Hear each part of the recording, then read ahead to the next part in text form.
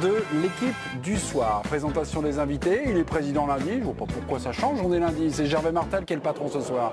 Bonsoir Gervais. Bonsoir mesdames, messieurs. Gervais, dans votre ville peuple, il y a Steve Austin, Vincent Dubuc. Bonsoir mon cher Vincent. Bonsoir Manu. Euh, Vincent, nous avons appris ce matin le décès, la disparition de, de Gérard Rouillet. Petit quiz un peu sur la carrière de Gérard Rouillet. On connaît son parcours chez les professionnels, mais il a entraîné un premier club amateur. De quel club s'agit-il Mais C'est le Touquet. Eh Et j'aurais préféré pas avoir à réviser aujourd'hui. Merci Vincent. Euh, le Parisien est dans la place. Parisien Paf, Il vaut mieux l'avoir Gérard Rouillet. journal. 1980. Gérard Houlier. Houlier. Houlier. Gérard Houlier. bien qu'on l'appelle Gérard Houlier. Oui, exactement. Et en plus, ça s'écrit comme ça. Ah. Gérard Houlier, premier euh, entraîneur à avoir gagné le titre avec le Paris Saint-Germain. Je pense qu'il a propulsé le, le Paris Saint-Germain, jeune club à l'époque, euh, au haut de l'affiche euh, française. Et puis lui, ça, il a mis ça sur ses cartes de visite et il s'est fait connaître comme ça. Ouais. Damien Degord partage-t-il l'avis, notre poignard d'or de Dominique Sévrac? Ouais, je partage l'avis. Il a failli revenir au Paris Saint-Germain parce que Alain Kézac en était le président. Il voulait le, il voulait le nommer comme manager, euh, manager général. Ils étaient pas- très copains d'ailleurs. Très très proche. ouais. Et, et puis euh, Hervé Penaud, petite chanson. Oui, alors là, je vais pas danser, imaginons. hein, là.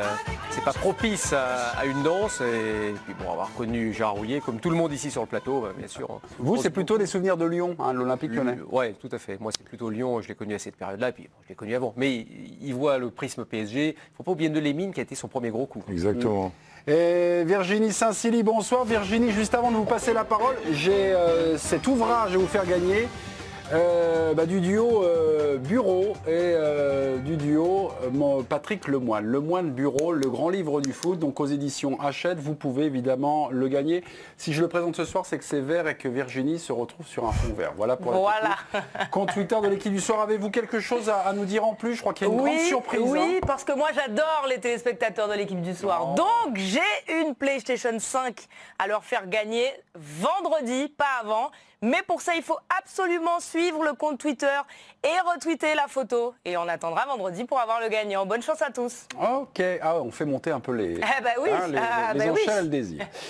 Gérard Rouillet vient donc de disparaître aujourd'hui à l'âge de 73 ans. Nous évoquerons évidemment sa mémoire là, dans, dans quelques secondes. Mais alors, si je vous dis comme ça simplement, euh, Gérard Rouillet, vous me répondez spontanément quoi? J'ai euh, quelques petites choses à vous proposer. hein. Euh, le Paris Saint-Germain, on l'a évoqué avec Dominique Sévrac, France-Bulgarie, sinistre mémoire, de ses années à Liverpool également du Grand Lyon, habillage à l'américaine. Et on y va. Ah, pour moi, c'est c'est le RC Lens. C'est le RC Lens. Parce que j'ai connu Gérard en 82, je vous expliquerai dans quelles conditions. ouais. Eh ben, on on peut y aller tout de suite parce qu'on va reprendre, euh, on va reprendre chronologiquement. Alors, il arrive de Neulémine, sa première expérience également professionnelle en première division, c'est le RC.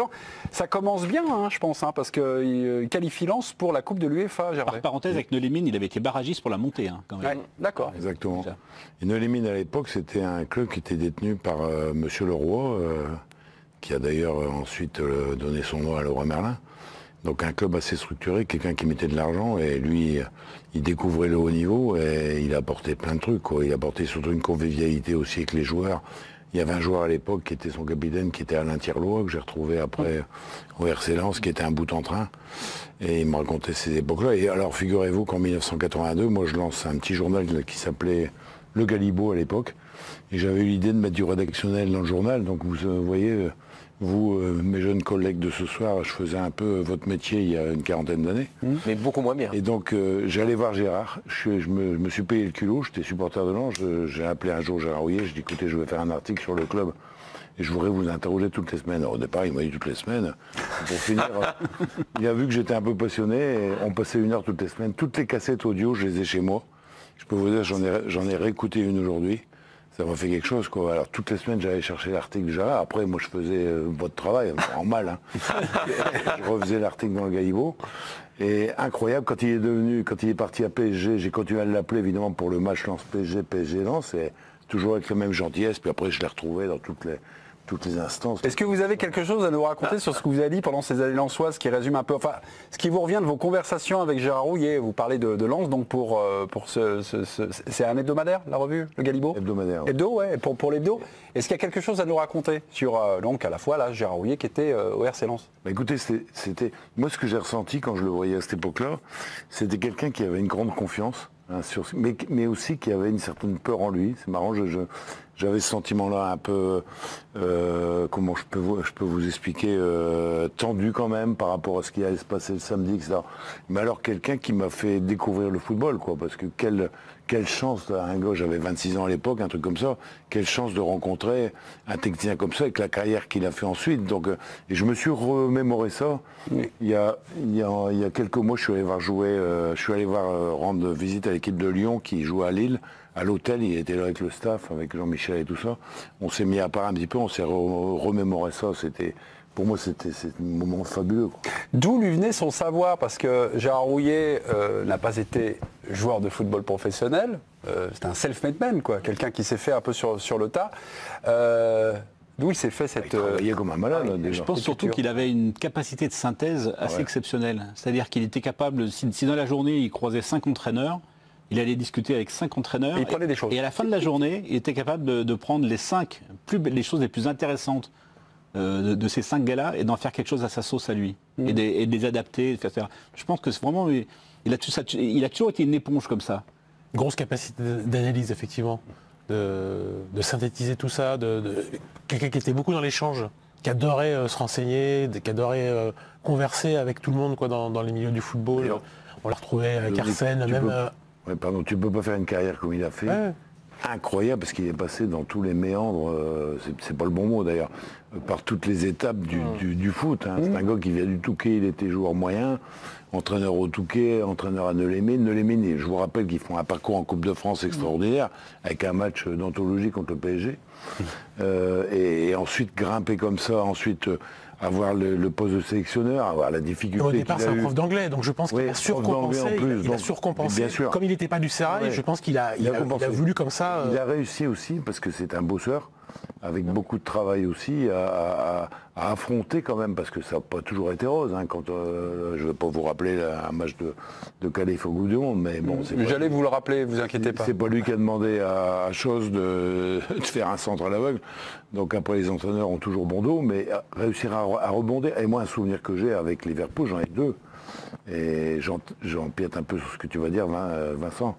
Mais euh, souvenir avec Liverpool qui est, qui est extraordinaire, c'est que quand il part à Liverpool, ok, bon, il, il- il m'appelle. On est en 98 là. hein. Il, m'appelle en 99-2000, il dit il y a un joueur chez toi qui m'intéresse, c'est Vladimir Smisser. Et puis euh, ben, je dis ouais mais bon moi j'utilise un peu quoi. Bon, il, il- il était tellement sympa et convaincant quoi. Puis euh, Vladi voulait y aller aussi évidemment. Oui. Vous vous rendez compte un peu le truc. hein.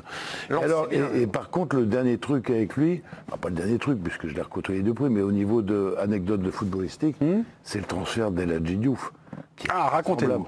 Et la Diouf qui nous fait une saison exceptionnelle, on fait deuxième derrière Lyon et, et ils se mettent sur Diouf à l'issue de leur saison fabuleuse euh, avec Liverpool. hein. C'était en 2002 leur saison euh, Ouais, fabuleuse.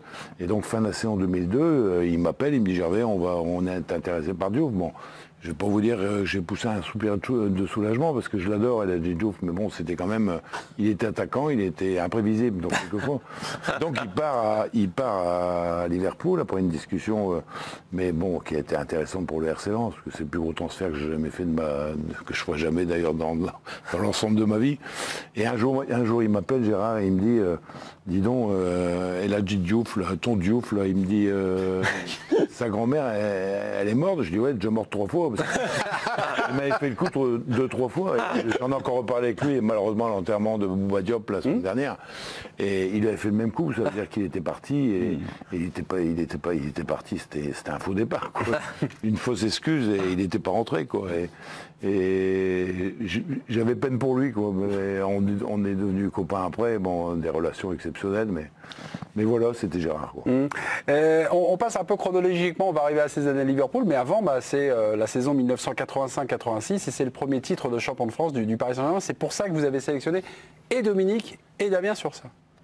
Je pense qu'il y a une patte déjà qu'on voit, je pense que ça joue bien. Il y a c'est le PG de, de Souzik, de Rocheteau. euh, ça, il reste 26 matchs, 26 journées de suite euh, invaincus.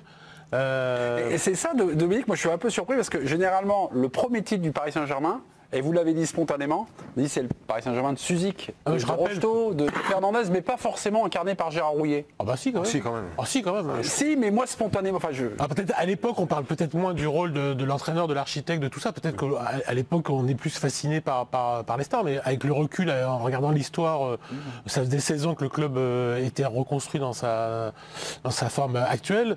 Je pense que le- le- l'architecte Gérard Houllier, euh, c'est important, non? Ah, non, non, mais j'ai trouve pas dit que c'était pas important. Oui, non, Paris, je pense que Paris, Chaque entraîneur a incarné des titres. Perroche a incarné le premier titre avec la Coupe de France et, et Houillet a incarné le, le premier titre de champion euh, bah, bah, parfaitement. C'était c'est effectivement une saison, euh, une saison vraiment accomplie euh, pour le PSG. C'est, il- il- je me souviens que je crois qu'il bat Bordeaux qui est champion de France au mois d'août euh, avec euh, Claude Bèze en tribune. Enfin c'est euh, et qui a, qui a justement des places euh, un peu un peu bizarres pour ses invités qui sont tout en haut du tribune et que Claude Bèze n'est pas content. Enfin bref. Et euh, c'était un PSG, un PSG qui jouait plutôt bien. Le match retour, euh, je crois que les, les invités du, président il y a eu une petite vengeance. se ouais. sont retrouvés de l'autre côté du stade, Exactement. du côté du parc Les euh, C'est étonnant de la part de Claude Bess.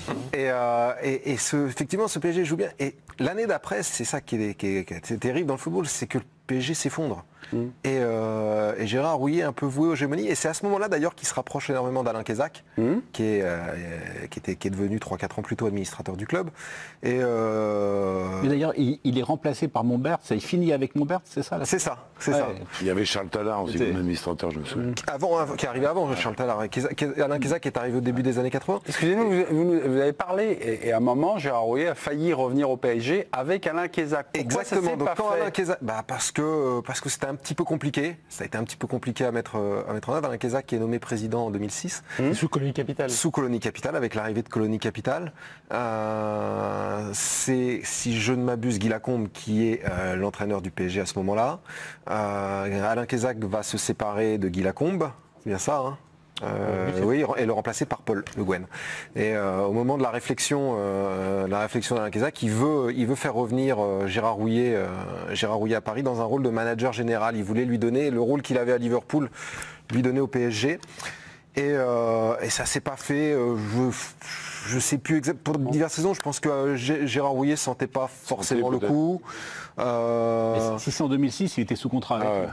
Il était euh, après sa première en année. à 2000 Lyon. c'est après sa première année à Lyon. Eh ben, c'est ça, 2006. Donc, ah bah voilà, il donc était Houillet- sous contrat avec Lyon. Houillet est à Lyon à ce Il moment-là. venait d'être champion avec Lyon pour la, Voilà. pour la première fois. C'est sur la saison première fois. 2000, euh, 2007, euh, fin, fin 2006. Ouais, fin Moi, je 2006. l'avais vu quand il était entraîneur de, de- de Lyon, euh, quand il parlait du Paris Saint-Germain, il y avait vraiment des. Alors peut-être qu'il faisait ça avec tous les, tous les, les endroits où il est passé, mais il m'a semblé que dans, sa, dans son parcours intime, le, le passage à Paris, il avait, euh, sûr. ça, l'avait toujours Mais- plus marqué je- je suis qu'ailleurs. complètement d'accord, mais, Mais, il après, avait, il avait deux clubs. Bon, il avait Paris, il avait Lyon. Et je me souviens à un moment donné, quand il y avait des Ah, sujets Liverpool, PSG, Lyon. ça l'a marqué Non, de mais en manière invraisemblable, hein. France, en France. Ah ouais, en France. Et euh, quand il y avait des sujets euh, PSG Lyon, à un moment donné, on se disait, on va faire un comparatif des équipes. Oui. euh, on va appeler Gérard Rouillet. Et il voulait jamais. Sur PSG Lyon, il voulait pas parce qu'il il se disait, bon, si je prends tel joueur plutôt que tel joueur à Paris, ils vont m'en vouloir. Il voulait, il voulait fâcher. Sur PSG Lyon, il voulait Enfin, fâcher. il habitait quand même plus près du Parc des Princes. Oui, Ah, il habitait tout près du Parc des Princes. Garros. Mais il aimait pas Euh, tellement parler de Lyon. vous ne l'avez pas nommé spontanément, mais moi spontanément, quand je pense à Gérard Rouillet, bah, c'est pas forcément des, des bons souvenirs pour le football français. Oui, un peu spontanément. Ah ouais, c'est le premier truc. euh, France-Bulgarie 1993, la France est éliminée, but Kostadinov. Quelques jours après, je pense le lendemain ou le surlendemain, Gérard Rouillet parle de David Ginola en conférence de presse. Regardez et accrochez-vous. Le fait qu'un joueur ait craqué, à mon avis, a constitué sûrement une goutte d'acide importante, parce que là, David Ginola a commis un crime contre l'équipe. Je répète, un crime contre l'équipe. Le terme était mal choisi de ma part et, et c'est une erreur. Et de toute façon, je, vraiment, je l'ai dit souvent mille fois. Euh, euh, J'aurais pas dû dire ça, c'est tout. Voilà. un moment de vie, rien, on peut vous en parler pendant 20 ans, 30 Ouais, ans. ah, bah, c'est sûr, quand je vais mourir, c'est ce que je dis. On va voir en bande annonce euh, Gérard Roulier qui a eu un problème avec Ginola. On va même montrer euh, des images de France-Bulgarie hein, pendant qu'on y est. C'est l'extrait du documentaire consacré aux entraîneurs de, de Sébastien Tarago qu'on avait le plaisir de découvrir déjà cette euh, saison. Sur ça, vous vouliez dire un petit mot, euh, Vincent? Mais oui, parce qu'il savait très bien que, que sa vie d'entraîneur en France avait longtemps été résumée à- au but de Kos- de Kostadinov. Après, ce qui a été mal compris parfois, même s'il a fait une erreur, c'est qu'il reprochait- c'est que le crime de Ginola, c'était pas son centre raté, c'était d'avoir parlé dans la semaine, deux jours avant le match, d'avoir balancé sur Rouillet, sur Papin, sur Cantona. C'était un peu différent, mais le raccourci avait été fait que le crime, c'était un centre raté, et du coup, forcément, ça avait ajouté le malentendu. Après, il, a forcé, il en a été, euh, il a été prisonnier de, de cette minute-là. Et, et je, me rappelle, je sais qu'une une fois, il m'avait dit, mais oui, euh, j'ai quand même trouvé cruel que toute une vie de foot soit résumée, euh, soit résumée à ça. Donc je pense qu'il a dû me trouver cruel, puisque un sûr. jour il est arrivé, Gérard Rouillet, pour faire, j'allais dire, la grande interview. Voilà, j'étais en train de chercher. Pas l'équipe du soir, la grande interview. C'était le 13 mars 2017. Je l'avais mis sur le gris et je lui avais posé cette question euh, directe.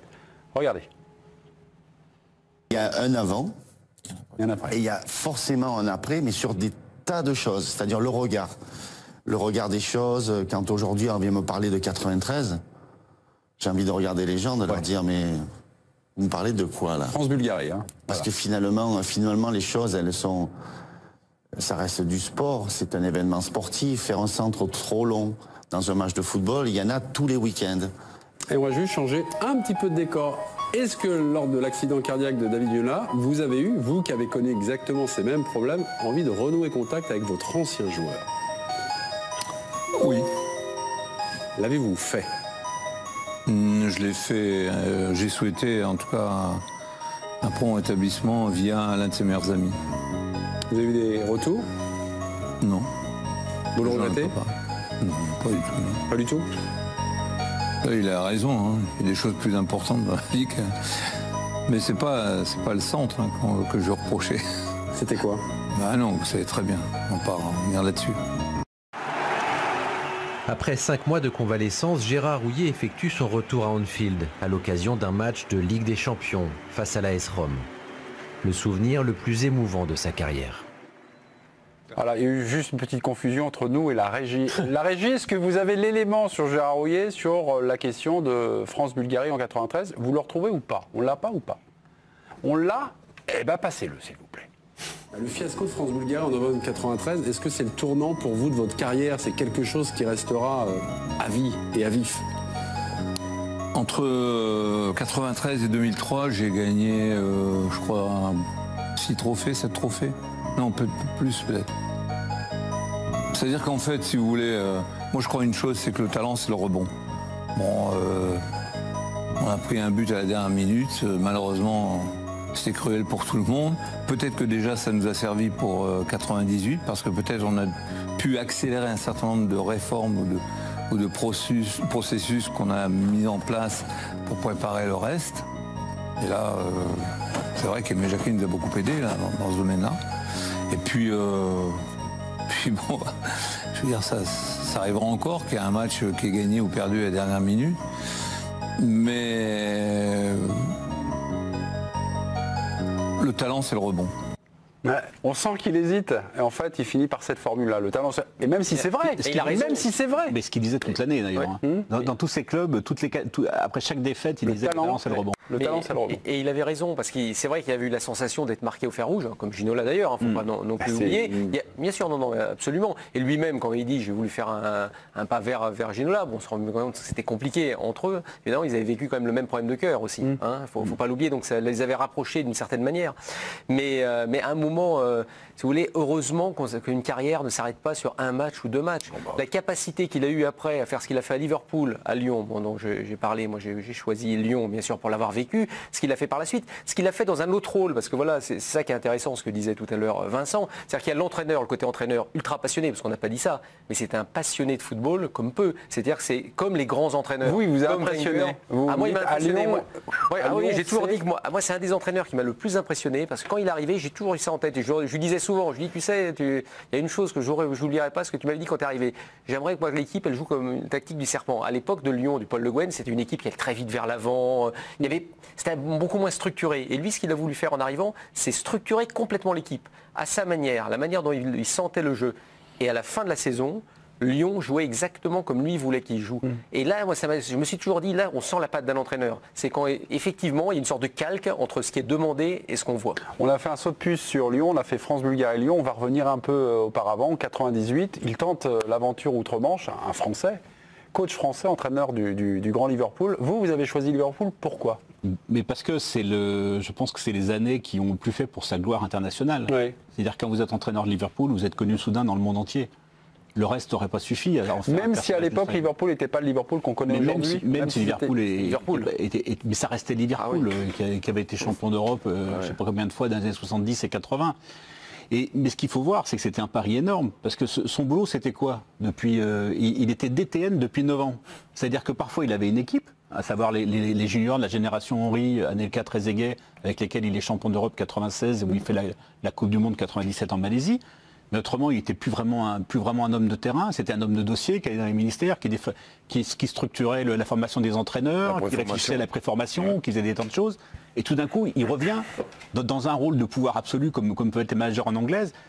Et, ça, et ça va être, ça va être une vraie réussite. Alors évidemment, deux époques, jusqu'- jusqu'en 2000, ah, avec la fameuse euh, année 2001 où il gagne euh, trois trophées majeurs, la, la Coupe, la Coupe de la Ligue et la Coupe de l'UEFA, deux trophées accessoires, le Charity Shield et la Super Coupe, avec le ballon d'or de Michael Owen. Mais évidemment, la coupure, c'est- son accident euh, aortique au, mo- au mois d'octobre 2001 contre Leeds, où il est sauvé de, à quelques minutes près et qu'il est opéré pendant 11 heures par un, par un chirurgien. Et quand il revient contre la Roma au mois de mars suivant, ben, il dit, il dit lui-même, je suis revenu trop tôt, j'étais pas prêt, et la suite va être un peu plus difficile, et ça s'arrête en 2004. Mais, mais, mais c'est ces années-là qui l'ont rendu célèbre. D'ailleurs, on a perdu Et, cette et année, ce qu'il faut euh, voir, c'est le regard, que, le regard que les joueurs portaient sur lui. J'écoutais le, le podcast de Jamie Carragher, Hmm. le joueur, une des stars de, de Liverpool, qui parlait avec euh, Owen, Michael Owen. Et tous les deux, on était venus à la conclusion que pour eux, l'un des entraîneurs les meilleurs, et notamment Michael Owen disait ça, qu'ils avaient, connu, c'était lui. Il disait parce qu'il avait une manière de gérer humainement, parce que c'était le pur manager en fait, hein, plus quasiment que l'entraîneur. Rigo Song me disait j'ai découvert ce que c'était qu'un manager. Pour moi, un manager, c'était pas Diouf. Je disais, je l'appelais euh, manager Diouf, pas, pas, pas-. Et lui, c'était un manager. Et il avait cette hauteur d'esprit. Et euh, ce que racontait donc Michael Owen, c'est qu'une fois, je crois, alors c'est Owen ou, euh, ou euh, Fowler, il rentre, il rentre dans le stade et puis il voit un bout de sa famille euh, en tribune. Il fait un petit signe et hop, ils vont faire le match. Et à la fin, il, il m'a pris, il m'a engueulé, il m'a dit, je veux jamais voir ça. Le match, c'est le match. Et après, il n'y a aucun souci. Il faut être concentré sur le foot. Et il dit, j'ai toujours gardé ça en tête. Des souvenirs de Gérard Rouillet à Liverpool, extrait du documentaire de Sébastien Tarago consacré aux entraîneurs, donc euh, que vous avez pu découvrir il y a quelques semaines de ça sur la chaîne d'équipe, avec cette séquence magnifique où il est de retour à Liverpool. On se quitte là-dessus, on se retrouvera un petit peu plus tard, après la pause. Après cinq mois de convalescence, Gérard Rouillet effectue son retour à Anfield à l'occasion d'un match de Ligue des Champions face à l'AS Rome. Le souvenir le plus émouvant de sa carrière. Personne n'était au courant. Euh, J'ai simplement euh, dit aux joueurs à 5 heures et quand j'ai fait la causerie, quoi. Et je suis revenu et l'accueil de Capello a été quelque chose de, particulier.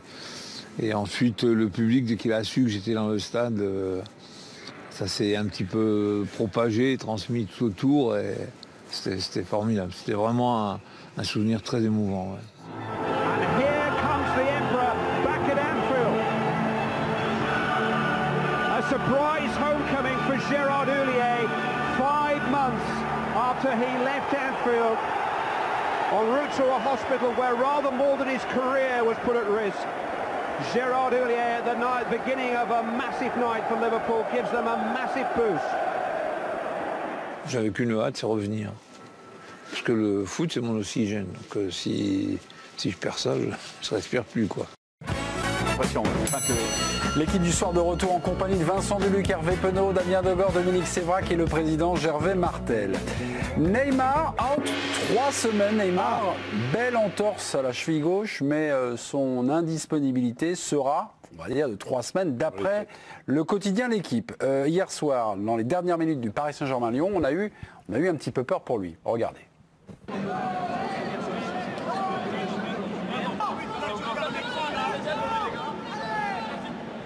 Des pleurs et la cheville touchée après cette inter- intervention de, de Thiago Mendes que vous allez voir. Donc pas de fracture, mais une grosse colère de son papa Neymar Senior qui a dégainé, euh, vous allez voir le message sur son compte Instagram. Putain, jusqu'à quand? On a tellement, parlé de ça, on a tellement souligné que cet excès de violence, pourquoi ne pas arrêter au début, à la première faute? Pourquoi attendre 7, 8, 9 euh, fautes? On ne prend pas les mesures nécessaires durant tout le match, pendant lequel Neymar a subi sa traditionnelle douzaine de fautes, toujours violentes. Cela encourage ce genre de joueurs et d'attitude. Continuons et le football va réellement perdre beaucoup. Jusqu'à quand la victime sera fautive en majuscule? Neymar est-il suffisamment protégé, mes amis? Vous m'avez tous dit oui. On est bien d'accord. Mais, mais il pose une bonne question. Bah, je- il pose une bonne question, je sais pas, mais en tout cas, vous dites, il est. Bah non, euh, il pose une bonne question, une question Non, mais moi, non je, avenue, en tout moi, cas. je trouve qu'en Ligue 1, il, il est normalement pro- protégé. Quand je dis qu'il pose une bonne question, c'est qu'effectivement, je ne me vois pas dire c'est de la faute de Neymar s'il prend des coups. Ah bah non, personne Voilà. ça. Mais, non, mais c'est, non, mais c'est- c'est la question que, bah ouais, son dit père. ça, oui, Il faut, il juste-. J'allais vous la poser. J'allais vous la poser. Oui, Est-ce le que le jeu de Neymar, le jeu de Neymar fait de Ah bah, provocation, oui, bien fait sûr. de côté perso Bien sûr. On est tous devant Mais ça télé rend en pas responsable des Donne-la Oui, mais, mais, mais, ça, mais ça ne le rend pas responsable des fautes qu'il subit. subit. Ça ne le rend pas responsable. je pense qu'il provoque balle au dissocier, pied. dissocier le jeu de Neymar, qui est un jeu de provocation, et le comportement qu'il peut avoir Bien sûr. Et susciter parfois quelques euh, éventuels actes de vengeance. Ouais. Mais alors, à la limite, là, si quelqu'un avait voulu se venger, ça aurait plutôt été Léo Dubois. Ouais. Parce que très honnêtement, hier, c'était une tête à claque, hein, Neymar. ouais. Pendant euh, le, le temps de présence de Dubois sur le terrain, euh, voilà. Là, c'est Thiago Mendes, c'est un compatriote. je pense qu'il avait, voilà, c'est c'est un geste maladroit, je pense. Je pense pas qu'il ait voulu lui faire mal. Euh, je- moi, je pense qu'il est protégé. Je pense qu'il est protégé. Mais il aurait été mieux protégé s'il avait pris un jaune très vite de la part de l'arbitre pour le calmer, parce qu'il est monté tout seul en tension, Neymar, sur ce match-là. Il est monté tout seul, Il a comme un pris à la grand. 71e, je crois. Non, Pardon il a, il a Il eu a pris à la 71e. Oui, mais Ouais, son- son mais jeu il aurait- je pense que hier, M. Bastien aurait pu calmer le jeu tout de suite entre, bah, entre Dubois et Neymar. Parce qu'à la mi-temps, vous avez tous vu la sortie de Neymar et de, Et de et Léo de Dubois. Dubois. C'était tendu. Il, il pouvait calmer le jeu. Voilà. Il l'a pas fait. Ouais, mais je Neymar s'est énervé. Et Moi, je- après, bon, il y a cet incident, mais qui, à mon sens, n'a rien à voir avec. euh, Je pense aussi, avec l'attitude quand des on joueurs. relit la- les déclarations de son père, bon évidemment... euh, C'est le papa. Normal. Hein Papa. Ok, maintenant, qu'est-ce que, qu'est-ce que les arbitres peuvent faire de plus Aujourd'hui, je pense qu'ils sont, les joueurs sont sanctionnés. La preuve, il a pris un rouge euh, normal ici, euh, Mendes hier soir. Mais le jeu de Neymar, malheureusement, le jeu de Neymar est souvent ce que tu viens de dire, un peu son comportement. Euh, j'ai jamais été joueur professionnel, mais ça doit être super agaçant, quoi.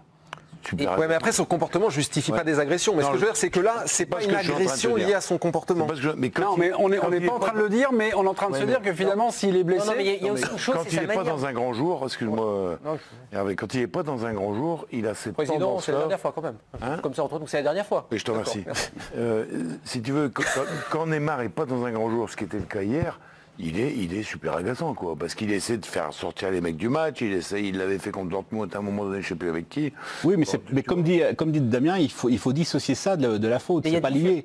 Effectivement, la faute de Thiago Mendes, elle vient parce que c'est la dernière minute, que Lyon est un peu sous pression, Parce qu'il faut faire qui du court après, Parce qu'il faut qu'il faut l'arrêter, faut qu'il faut le bloquer. C'est le troisième joueur qui doit intervenir sur la même action, Exactement. etc. Et qu'à un moment, il faut arrêter. Il faut dissocier le sale goal de- Ça aurait été un autre joueur que Neymar, il serait arrivé la même chose. Bien sûr, il et Verratti avait fait pareil, il Verratti pareil. Et, et c'est son jeu aussi qui est très- sa position de corps même dans ses duels, dans ses face à face, parce qu'il aime aussi beaucoup jouer de son corps, de sa puissance, parce qu'il est, il est- il est assez tanké, et, euh, et sa manière aussi de prendre ses appuis par rapport à des joueurs qui ont, qui ont des plus d'explosivité dans l'élimination. Lui, il a, il a une manière aussi de provoquer balle au pied en, en utilisant un peu une sorte de, guerre d'ego aussi l'un contre l'autre, contre son défenseur, et, euh, ça peut lui jouer le tour. Mais ce qu'il faut que le père oublie pas, c'est qu'il y a 15 ans, alors on a reparlé un petit peu de Maradona hein, récemment, on sait pourquoi, quand on voit les images de cette époque-là, mais les dribbleurs, mais ils, ils prenaient, ils dégustaient, mais c'était invraisemblable. Lui, euh, malheureusement, comme, et mais par contre protéger évidemment les, les acteurs du jeu, ce type d'acteurs du jeu, bien Comme sûr. l'a dit. Gervais, qu'est-ce que tu veux que les arbitres fassent de plus Je Bah, pense- Il n'y a pas de procès d'intention à faire aux arbitres. Non. ils n'arrivent pas. pas, euh, sur les Non. terrains de Ligue 1 en se disant bon bah lui euh, il fait sa danseuse ou il c'est un sale gosse, il faut dissocier le sale gosse de l'artiste, donc je vais je vais pas le protéger. Non, les arbitres sont honnêtes. On conclura avec Virginie Saint-Silly. Simplement, euh, moi, ça m'a rappelé le décès de Maradona. On a revu des images de Maradona, un je provocateur. c'est ce que vient de dire Mais Hervé. voilà, Maradona, de excusez-moi. Vous étiez en train de parler avec, euh, Maradona, Maradona. Gentili et la Coupe du Monde- Maradona Gentili et la Coupe du Monde 82, Carton, c'est un massacre. Hum, euh, Comment- vous non, expliquez Dominique, on Non, carton, je disais, vous avez un carton là Oui, devant non, vous. mais, de- vous êtes Oui, C'est une je- question. Euh, posez votre question. posé une, une question à mes éminents collègues. Comment vous expliquez que Messi, pourtant qui, qui, euh, qui, qui a un jeu aussi qui prête De à- provocation hein, il a pas, Pas le même il- jeu, hein. il, a, Mais- il a jamais été au, au- je pense pas qu'il agace. Il garde Je moins longtemps le ballon. Moi, je pense qu'il garde Il moins longtemps, le ballon. et qu'ils n'arrivent pas à l'attraper. lui. Et il n'utilise pas, non, mais il n'utilise pas sa force physique. Lui, il n'est pas dans Oui, le corps contre corps. Lui, il est dans le contact, ouais. Lui, il va au contact, c'est-à-dire que ça fait partie de son jeu. Ah, donc son jeu s'expose à des blessures, c'est ce que vous venez de dire. C'est pas. Merci. Merci, les gars. Vous allez me faire passer pour qui Merci. Virginie, qu'est-ce qui se passe, ma petite euh, Virginie Ah, on est chez que ben, j'ai sillonné euh, Instagram et j'ai trouvé euh, l'Instagram de Thiago Mendes où le Lyonnais a présenté ses excuses à Neymar euh, dans une vidéo qu'il a, qu'il a postée. Il regrette son geste dangereux. On va l'écouter. Bonsoir tout le monde, je viens m'excuser auprès de Neymar, j'espère qu'il va bien. Je n'ai eu aucune intention de le blesser, on sait que Neymar est l'un des meilleurs joueurs du monde. Comme euh, tout le peuple brésilien, j'admire son football. J'espère qu'il n'a rien de grave et qu'il pourra récupérer rapidement et redonner de la joie aux supporters. Je réitère mes plus sincères excuses. Allez, dans quelques minutes, la suite de l'équipe du soir. Tirage au sort donc de Ligue des Champions. Tirage au sort également du Mondial, de la Coupe du Monde de rugby 2023. Allez, All Black. Ah, on en parlera avec notre All Black à nous. Dominique Sévrac. Ah oui À tout de suite. Je sais bien All Black.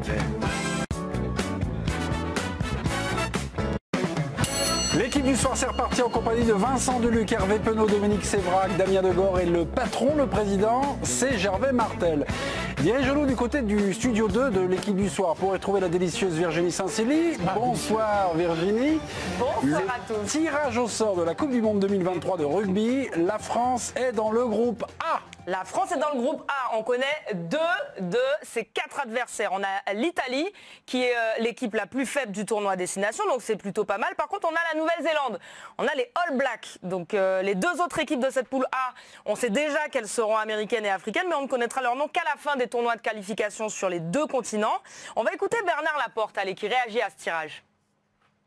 On ne peut pas dire il faut une poule facile, il ne faut pas une poule facile, ça n'existe pas les poules faciles ou pas faciles. Si vous voulez être champion du monde, il faut gagner, il faut battre tout le monde. Mais je trouve les poules très équilibrées et très incertaines euh, dans, quelques-unes. Donc voilà, ça va être passionnant. La France hérite de la Nouvelle-Zélande. Oui, c'est l'une des meilleures nations du monde. Donc je crois que c'est toujours des matchs euh, particuliers, les France et Nouvelle-Zélande. Donc je pense que celui-là aussi le sera. France, Nouvelle-Zélande, est-ce que c'est un mal pour un bien Triple champion du monde, les Néo-Zélandais. Est-ce que c'est bien? Oui, oui, moi je pense que de toute façon dans une poule comme ça, il faut les deux premiers qui se qualifient. Ah Il faut avoir aussi un test parce que vous ne pouvez pas rencontrer avec des adversaires qui sont largement à votre portée. Donc c'est un adversaire dur. On verra un peu ce que vaudra cette équipe de France. Est-ce que ça signifie également que France-Nouvelle-Zélande, donc d'entrée en poule, en tout cas on ne sait pas encore si c'est le match d'ouverture, on retrouvera où, où les Français pourraient finale. éventuellement retrouver le- la Nouvelle-Zélande qu'en finale Mais Ah bah, il me semble, il me semble, je sais pas Vincent, pour- En 2011. mais, mais quand même à chaque fois qu'on a, ou les, très souvent quand on a joué les Blacks en quart ou en demi, ça s'est plutôt bien passé pour nous. Par une fois. Sauf- Oui. sauf à part une fois. Ouais, mais Mieux que contre l'Australie par exemple. On a du mal à gagner le match d'après en revanche. Ah bah ouais, Donc euh, le, le problème de ce match de poule, c'est en fait il y, a, il y a quand même que, il y a deux solutions. C'est soit vous le réussissez, soit, soit vous le ratez. À la limite, le raté. C'est ça, ça Non, mais- on non. dirait Fabien Larue. Je veux dire, c'est que le raté, le ra- le raté, c'est pas si mal. Parce que c'est très français, vous le ratez, après l'union sacrée, etc. Mais le réussir, ça serait un vrai piège, paradoxalement. Vous imaginez, vous, vous battez les blacks en poule, alors vous vous sentez costaud, mais enfin après, vous êtes le favori, vous avez l'étiquette, vous avez, vous avez une pancarte grande comme ça. C'est pas non plus une solution. Hervé, Mais, pas- mais la solution, c'est de passer et puis d'être- d'avoir plus de marge que la, que la dernière Coupe du Monde. Hervé, c'est pas parce que Fabien Larue connaît votre femme qu'il faut le citer à tout bout de champ. Merci Hervé. Virginie, est-ce qu'on peut avoir les autres euh, matchs de poule, s'il vous plaît, euh, Virginie? C'est de demander le programme. Euh, dans la poule B, on sait déjà qu'il y aura l'Afrique du Sud face à l'Irlande et l'Écosse. Dans la poule C, on a le Pays de Galles, l'Australie et Fidji. Et dans la poule D, l'Angleterre affrontera le Japon et l'Argentine. Les hommages se succèdent aujourd'hui pour Gérard Rouillet, euh, disparu ce matin.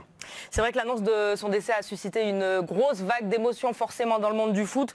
Euh, pas que, on a vu passer beaucoup de messages sur les réseaux sociaux de ses anciens clubs en passant par ses anciens joueurs et ses amis proches. Ils sont nombreux à évoquer euh, leur tristesse. C'est le cas par exemple du patron de l'OL, Jean-Michel Aulas. On va l'écouter.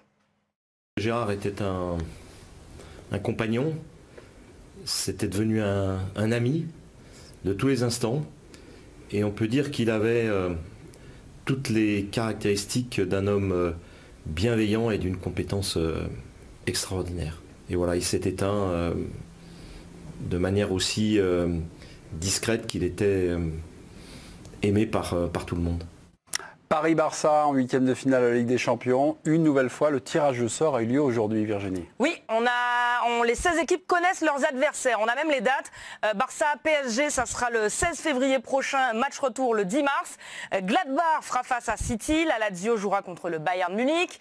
Euh, L'Atlético affrontera Chelsea. Leipzig sera face à Liverpool. On a Porto contre la Juventus Turin. Le FC Séville contre Dortmund. Et l'Atalanta Bergame sera face au, Real Madrid. Un petit mot côté Ligue Europa euh, pour vous dire que Lille hérite de l'Ajax en 16e de finale. Des travaux pour euh, le Lille de, Christophe Galtier. Euh, Paris-Barça, on en parle dans, quelques minutes avec au rendez-vous un super duel. Euh, deux matchs en retard, la défaite parisienne hier. Marseille est au coude à coude pour prendre la tête du classement, Virginie. Marseille est quatrième pour l'instant, à deux points du LOSC et de l'OL.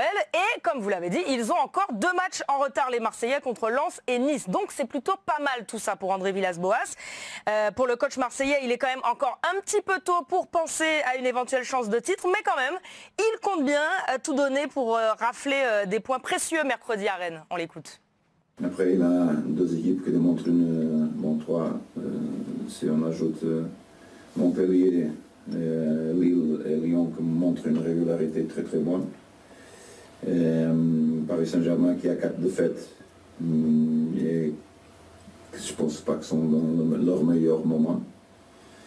Et, et nous, j'espère qu'avec les deux matchs en retard, si on les gagne, qu'on repasse tous. On va voir. Ça, dépend de comment est-ce qu'ils vont être joués et si on est capable encore de, de gagner déjà à Rennes pour écarter Rennes aussi un peu plus. Villas-Boas du jour. Roger Federer sème le doute sur la suite de sa carrière, c'est-à-dire Virginie? Et le sportif de l'année 2020, la star mondiale du tennis, s'est vu remettre un prix hier. Et dans son discours, il a laissé planer un petit doute, un petit doute qui fait peur à ses fans. Euh, il a laissé entendre en fait que sa grosse blessure au genou droit euh, qu'il s'était faite en février dernier pourrait peut-être le priver d'une reprise totale de la compétition. Écoutez. J'espère qu'en 2021, je retrouverai les cours. On verra bien, mais si ma carrière devait s'arrêter là, eh bien ça serait incroyable de la terminer avec cette récompense. Vous y croyez? Ah, On déjà, peut pas laisser lui planer souhaiter, le doute, mais- non, mais c'est, non, je ne souhaite pas évidemment, mais Ouais, mais- c'est étonnant, c'est une phrase assez étonnante. Ah bien s'arrêter un Ça jour quand même des- sa carrière. Ouais, mais ça suscite des interrogations évidemment. Le vent des globes, c'est très serré, Virginie, euh, en tête de la course. On a un trio de tête dans un mouchoir de poche, comme on dit. Charlie Dalin, Thomas Ruyant, euh, Yannick Bestaven se livrent une très très belle bataille, seulement 120 km d'écart entre les deux premiers. Euh, Le troisième est à 10 km derrière, donc il est très près. Les trois skippers possèdent une large avance par contre sur le reste de la flotte. Reste de la flotte dans lequel on retrouve Alan Roura qui est à la 15e place. Et alors pourquoi je vous parle de lui? Parce que vous allez voir qu'il traverse une petite phase un peu compliquée et, et, euh, qu'il pète un peu les plombs en fait. Bonjour, je m'appelle Alain Honra, je suis skipper du voilier La Fabrique. Et aujourd'hui, dans ces conditions, que faire? Je vous le demande, que faire? Il n'y a pas un PDR. Alors vous savez quoi? Moi, eh ben, en tant que navigateur, s'il n'y a pas de vent, qu'est-ce que je fais? Eh bien, je m'ouvre une boîte de palmier La Fabrique. Et ça, eh ben, ça me remonte le moral. Oh, elle est pas belle la vie Voilà, bon vent à vous. On termine avec la une de France Football euh, qui dévoile le Ballon d'Or Dream Team, Virginie. Euh, on me dit à l'oreillette que vous allez vous n'allez peut-être pas la voir, mais bon, je vous dis quand même de quoi il s'agit. Ce sont les 140 jurés euh, du Ballon d'Or qui ont voté et désigné leurs 11 des légendes, les meilleurs spécialistes de l'histoire, avec notamment, vous, vous vous imaginez bien, Maradona, Pelé, Messi, Ronaldo et d'autres. Euh, le détail des votes, les portraits des élus et des entretiens exclusifs sont à retrouver dans le France Football de ce mardi. On a une question, Dominique Sévrac? Il y a Tony Vérel Non, Tony, non, non, non, on n'est pas là. Merci de la vanne, euh, Dominique Sévrac. Concentrez-vous parce que là, euh, vous allez avoir du. Paris Saint-Germain, Barça. Des retrouvailles donc entre Paris et Barça. On se souvient évidemment de leur dernière rencontre, c'était en mars 2017 et Paris subissait la plus grande déconvenue de son histoire. Une remontada qualifiée d'inqualifiable le lendemain dans le journal L'équipe. Euh, Paris a-t-il une occasion unique d'effacer cette remontada? Cette question, quatre chroniqueurs ne sont pas d'accord. Jingle, c'est un super duel. Oui, Vincent Duluc et Hervé Penaud, non, Damien Degore et Dominique Bonsoir. Sévrac. Euh, Chez les Sévrac Degore, qui commence On va commencer par le, talent de Damien. On finira par un peu d'expertise si ça vous dérange pas? Ça ne me dérange pas. Oui, Vincent Duluc et Hervé Penaud, qui commence chez les Duluc Penaud Hervé va commencer. Oui, je vais faire une Hervé minute, va je pense. commencer. Donc Hervé et Vincent, vous avez répondu oui. Paris a-t-il une occasion unique d'effacer la remontada? On va peut-être donner la parole plutôt au nom à, à Damien Degore. Damien, Cette génération 1, alors a battu Barcelone, puis elle sera marquée par un nouvel échec, un nouveau traumatisme. Non, en fait, il y a ça dans l'histoire du Paris Saint-Germain, ça fait partie des fantômes de l'histoire, on les effacera jamais. Si un jour il y a une finale de Coupe du Monde France-Brésil et le Brésil gagne, bah ça nous enlèvera pas le titre de 98, donc euh, on n'efface pas l'histoire. on ne peut pas chasser les fantômes, Vincent Duluc. Oui, sauf qu'il y a un des arguments de Dominique qui n'est pas valable, euh, puisqu'il dit que si le PSG éliminait euh, Barcelone, derrière, il pourrait se faire éliminer, on ne sait pas ce qui arrive. Mais si- si- si- s'il n'y a pas eu la remontada, rien dit que Paris serait allé au bout quand même. Donc le- au, au niveau du traumatisme, ça ne fonctionne pas. Et moi, surtout, ce que je vois, c'est le moment. Et à ce moment-là, ce qui arrive, c'est que ça peut être le match qui met fin à la génération Messi. Donc effectivement, la remontada en termes de nom propre va continuer à durer, elle sera associée au PSG. Mais dans l'affrontement entre PSG et Barcelone, mettre fin à la dynastie Messi, ça serait symbolique. Deux secondes pour euh, Damien Degore et Dominique Sévrac. Bah, de toute façon, c'est simple, c'est pas les mêmes joueurs euh, qui ont participé à la remontada. Donc euh, voilà. T'aurais bien fait de pas les faire. C'est pas, pas les mêmes joueurs. Non, non, non, non, non, non, mais si. Ah non, non, non, non, c'est deux secondes, c'est deux secondes. Damien, on a compris. Deux secondes, c'est deux secondes. Vous avez parlé après, Damien. Sans- sans jeu de mots, je pense qu'Hervé est à la rue, hein. C'est moi ce soir qui. Non, c'est vrai, il est à la rue. Hervé est à la rue. Hervé est à la rue. Il y, a- des moments où il vaut mieux filer les deux secondes au personnel. hein. Ok. Euh, votez pour qui? Pour Vincent et Hervé ou pour Dominique et, euh, et Damien? Très Compte Twitter de, de l'équipe du soir. Le président est demandé. Président, c'est un oui ou c'est un non? Ça va être non. bah, Je les aime bien, Hervé et Ah, Vincent, mais bon, mais quel, ce truc, dans, dans, dans 20 ans, on va encore en parler. On va encore en parler. Évidemment. C'est comme si on disait on a perdu contre la Bulgarie en 73 pour pas réveiller un mauvais souvenir. Et on boit la Bulgarie 15 jours après et c'est oublié. Non, parce que là, il y a vraiment eu un, Pas bien, on n'a pas dit un, ça. un état de... Pas bien, on va dire la même chose. Ça va eu- rester, mais, mais- Ça va rester. Mais Donc, bien sûr que ça va rester. Et ça, on n'a pas dit le contraire. Hein. Moi, je Bah dis- vous dites Non, oui, non, après vous dites... Visiblement, t'écoutes pas les c'est toi qui comprends pas ce que tu dis. Excusez-moi. Il Allez-y. s'exprime mal, il s'exprime mal. Attention. Ah oui, Ouais, il le mérite. sortir. Non, non, mais quand effacer, c'est impossible. On ne peut pas effacer un traumatisme pareil. Par contre, tout ce que tu- as dit, Vincent, tout ce que je suis d'accord, ça peut être le moyen, etc. Mais c'est pas le même contexte. Barcelone est à la rue aujourd'hui. pas les mêmes joueurs. du tout- C'est pas, du tout le- c'est pas du tout le même contexte. En plus, le premier match à Barcelone, match retour à Paris, c'est pas le même match et c'est pas les mêmes joueurs. Et, ce- et- et quand même, cette, déculottée là, on va encore en parler dans quelques Pardon, êtes- excusez-moi, mais sur le climat. À part c'est- Marquinhos, il reste sur le qui, Hervé climat, C'est la de cette symbolique. rencontre, Sur le À part climat. Marquinhos, il reste qui? C'est la symbolique. Non mais attends, tout à l'heure tu parlais des joueurs, parce que je t'ai quand même écouté, Marquinhos, c'est pas les mêmes joueurs. Donc ton argument il tombe à l'eau. Alors, Hervé. Marquinhos, il n'était pas là Non, mais à part À part Marquinhos, il reste mais, qui mais on s'en Et fout, Di ce pas les mêmes joueurs. Mais pour reprendre son argument. Maria, il Ah non, mais moi je reviens sur l'argument d'Hervé, c'est La était culture européenne, la culture européenne, elle, elle dépasse, elle dépasse le nom des joueurs. Elle s'étend, elle, elle s'étend sur le temps. Moi, je, je suis le premier à dire que la remontada va pas s'effacer. Que dans on n'a pas 40 dit ans, on dira. bah. Non, non, mais Bah, ça comme pas la s'effacer. Comme la Panenka, il y aura la remontada et on, et on fera rapport à ça. Mais comme c'est dit, ça s'effacera jamais. Et ben voilà. Mais il n'empêche que ça peut être une occasion d'en d'en effacer des traces malgré tout. Pas de l'effacer complètement, mais d'en effacer des traces. C'est un moment quand même très important de l'histoire de Barcelone. C'est peut-être la fin du Grand Barcelone. Et si le PSG provoque la fin du Grand Barcelone dans un grand bruit de vaisselle cassée, c'est- la fin de Messi. Vengeance.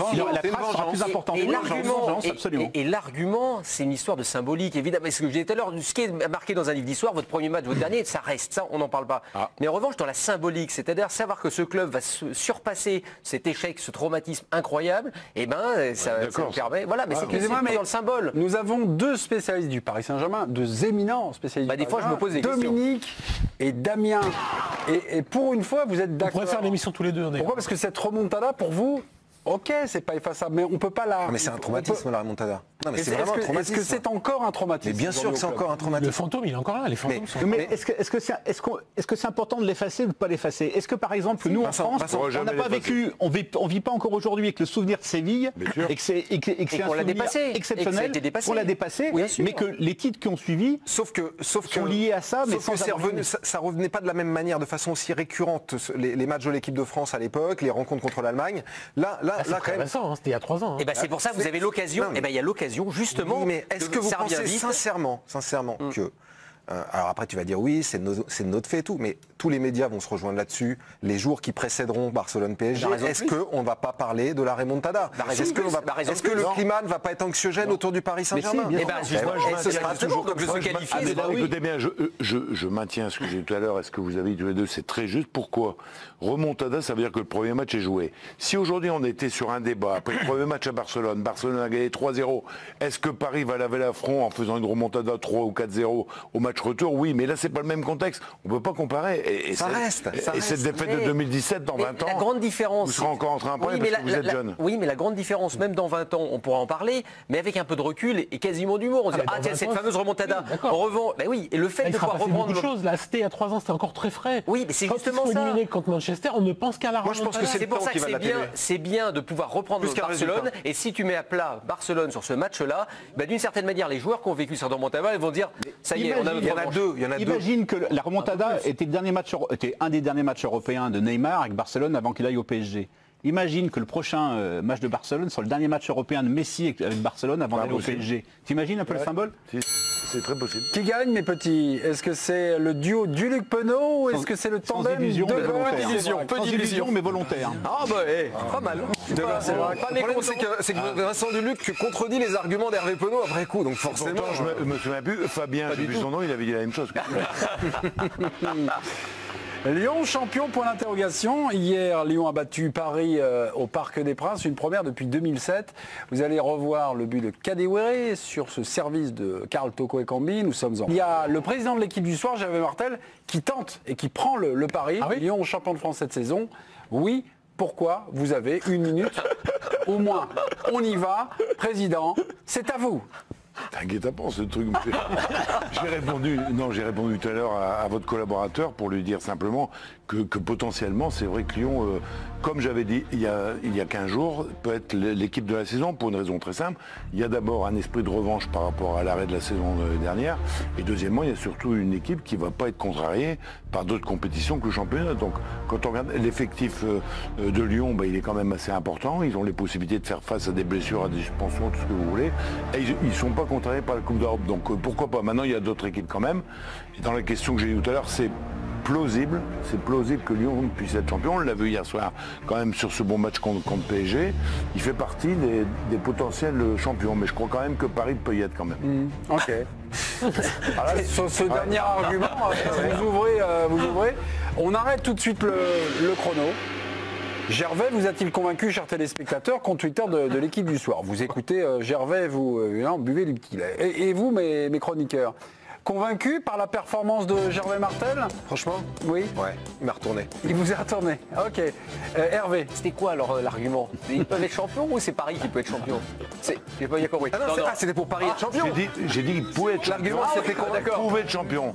C'est ce que ça veut dire, pouvait. D'accord, d'accord. Et Paris aussi, d'accord. Donc, pour tout dire, il m'a absolument pas convaincu. En plus, ses arguments, même en faveur de Lyon, je les trouve même pas bons du tout. Ah, même pas bon Mais, bah, de dire qu'il y a moins de Ah, le matchs parce qu'ils n'ont pas la. Coupe d'Europe, ça c'était c'était bien il y a trois mois. Mais Marseille, ils ont plus rien. Lille, ça se trouve au bout du 16e de finale, ils seront éliminés par la Jacques, ils ont pris deux matchs en plus. Il n'y a que Paris. On parle de champion. Il y a que Paris, ça Paris. peut être deux Il matchs Paris. N'y a que Paris et Paris. Le banc. Convaincu ou pas? Par, par Gervais Bah, co- convaincu par l'idée, parce que oui, je pense que c'est possible. Je pense que tout simplement. Lyon a la meilleure équipe du championnat en dehors du Paris Saint-Germain. Et si le PSG arrête de faire des bêtises, ça sera plus dur d'être champion. Si le PSG continue, ça sera tout à fait, ça sera tout à fait Ok. possible. Dominique, c'est vrai? Non, j'ai pas été convaincu par l'argument du banc. Euh, Je, je trouve qu'il y a des postes clés, euh, Awar, euh, Depay, euh, euh, Lopez. Est-ce qu'ils ont euh, aussi bon en stock euh, Bah, au milieu, oui. Ah oui, Au milieu, oui. Awar Ah bah, il y a- c'est- sur- tu, sur tu fais rentrer Guimarães ou Cacré, c'est jouable. Pas mal quand même au milieu. Ils ont, ils ont éliminé pareil, Manchester. City avec ces deux-là. hein. Oui, oui, d'accord. Donc c'est Ils- jouable. Ils sont plus du tout dans la même. euh, Ah, pardon, mais hier, le match se joue euh, notamment au milieu, non? Entre le Oui. milieu de Paris et le milieu Non, mais de si, Lyon, ils sont pas invités. non, mais s'ils sont absents, s'ils sont. Ouais. Il disait, il y a du Ah banc. bah s'il y a 10 absents, il y a peu de chance. Champions. c'est valable pour Marquinhos et Verratti, non? Euh, c'est valable pour. euh, Pour pour- Marquinhos, Mais tout pour, pour les meilleurs joueurs de toutes les équipes, gros. Il n'y a pas de banc. Vincent, il y a un joueur hier qui m'a épaté, Oui. il a 8 dans l'équipe, c'est Oui. Lucas Paqueta. Fantastique. On l'annonçait euh, ici même sur ce plateau, Oui. arrivant de Milan, en ayant un mental en chips. Le mec, Je vais vous dire, Mémé, eh, j'y croyais pas du tout. ah mais, enfin, je- Ah mais moi, je, je l'avoue hum- humblement, j'y croyais pas. Les échos qu'on avait de Milan, c'était un joueur en échec. Hmm Euh, Mental ce de ce qui-. Ce qu'il faisait, c'était pas grand-chose. Et depuis qu'il est à Lyon, mais dès le premier match, super attitude euh, dans le jeu. A- Avant même d'être bon, il avait une bonne attitude. Et il est devenu bon très vite. Il a beaucoup... Et encore hier, il aurait, il aurait pu faire encore plus mal avec un tout petit peu plus de justesse sur certaines passes en profondeur. Mais il tente toujours les passes les plus difficiles. Personne ne lui prend le ballon. Je trouvais un joueur formidable. Moi, le joueur qui m'impressionne dans cette équipe de Lyon, franchement, c'est Thiago Mendes.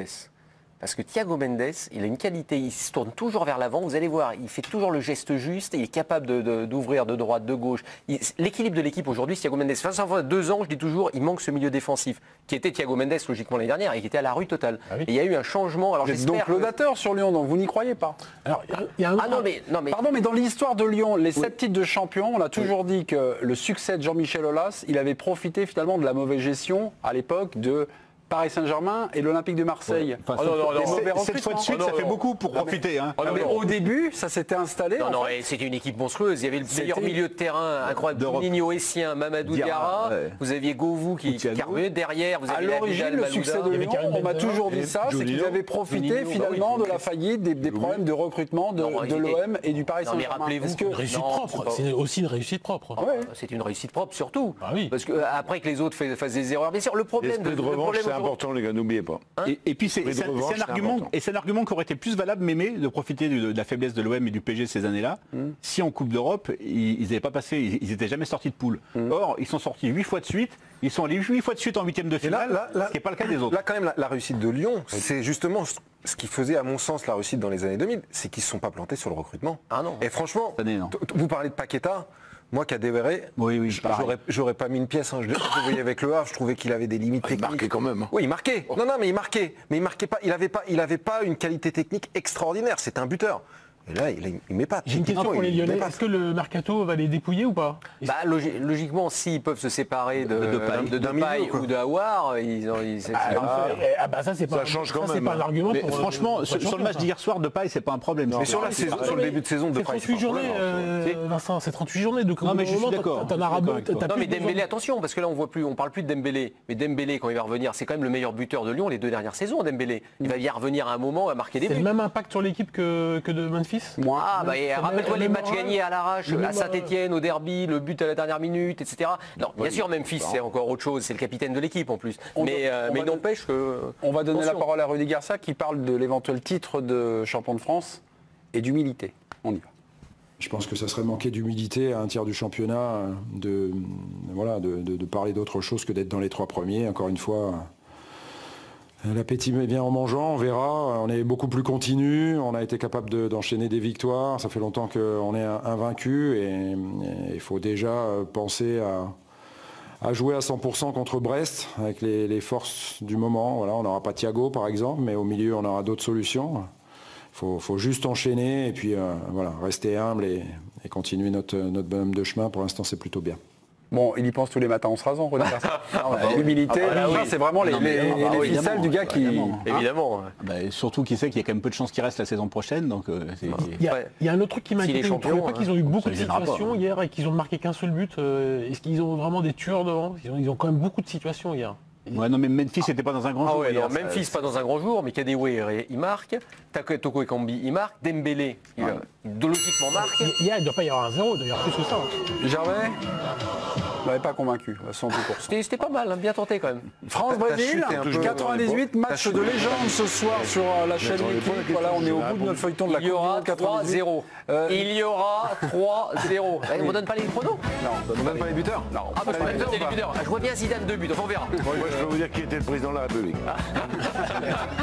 Là, on a un plateau d'experts. hein. On se retrouvera pour le débrief de cette rencontre.